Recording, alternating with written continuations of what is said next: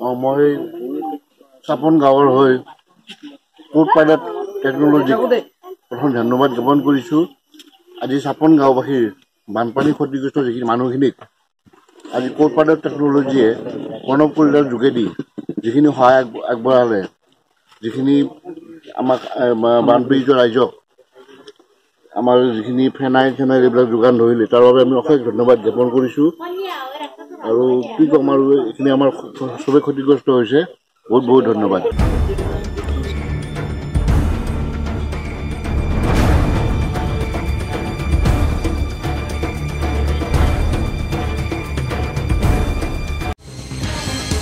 www.anyindianews.com আপুনি visit কৰক প্ৰতিটো নিউজ আমাৰ Facebook page any India news follow' কৰক।